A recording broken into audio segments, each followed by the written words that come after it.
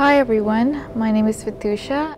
I like any food that are Italian, uh, Japanese, or South Asian. However, I identify mostly with Canadian food. And in that sense, the food that is most important to me is poutine because it relates to my Canadian identity. What is interesting is that um, in South Asian dishes, we don't include cheese or anything that is of beef, such as gravy, because it is forbidden.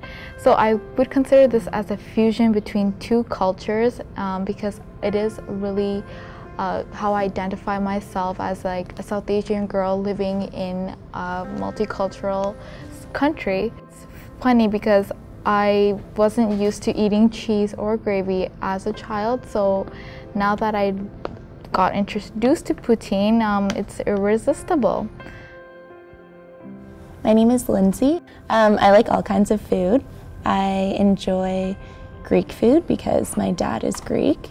It's very important to me because that's something that brings my family together because we're all so busy. So whenever we get to sit down and see each other, we're usually eating or cooking Greek food at our family's house or our cousin's house. So, a dish that brings everyone together during our family dinners is dessert usually. So, there's baklava. It's something that everyone loves in my family. My father is a really good cook, but I also really enjoy helping him. So usually it will be me and my dad in the kitchen. There's lots of recipes that my yaya passed down to my dad. So in future, I plan on making that with my children and passing the recipe down throughout my family. Hi, my name is Jessica. I would say that a dish that is important to me is ice cream.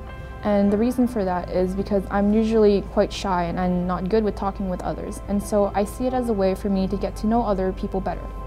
So for example, when I first met up with someone, I went out to Baskin Robbins with them. We each ordered an ice cream and hung out together. I somewhat knew a bit about them beforehand, but not very much. So we spent the time talking and enjoying our ice cream together. After we finished, they showed me a trick and pinned the spoon to their nose. I laughed and was very happy to see that silly side of them. After a while, we got together and became a couple. When we get a banana split together, they end up eating the chocolate because I don't like the chocolate and I get to eat the vanilla because they don't like the vanilla part. And so I guess, although ice cream is really tasty, it's more than that for me.